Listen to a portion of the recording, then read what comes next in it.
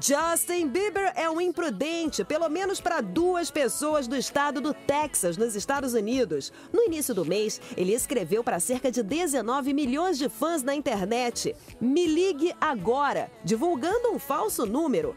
A mensagem foi apagada minutos depois, mas o estrago já havia sido feito. Como resultado, duas pessoas não tiveram sossego. Seus telefones não pararam de tocar. Agora, eles querem que o cantor pague por sua irresponsabilidade. Além do dinheiro, as vítimas pedem ingressos para os netos e um pedido formal de desculpas de Justin Bieber.